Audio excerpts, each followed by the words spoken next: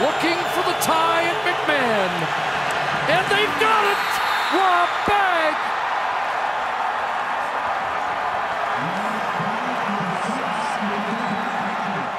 From the Saskatchewan offense, as they've got all kinds of movement to the right side of the formation, Durant gets a wide open Rob Bagg who just has to seal the deal with the catch there, and this baby is all tied up. Andy Fantuz, four receivers to the wide side of the field. And you can see the composure of Durant. He looks to the left, tries to freeze the defense, comes back to Bagg, wide open.